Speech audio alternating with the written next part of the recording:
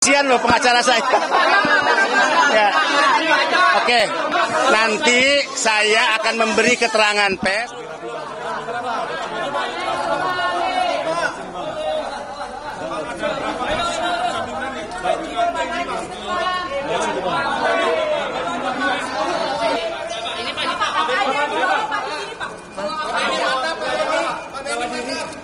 Pak, inisial T atau sudah pernah kasih tahu sosok Pak.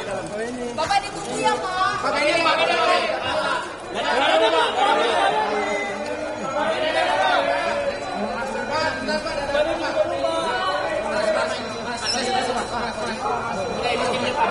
Kasihan loh pengacara saya. ya. Oke, nanti saya akan memberi keterangan pers setelah memberikan klarifikasi di dalam ya. Oke.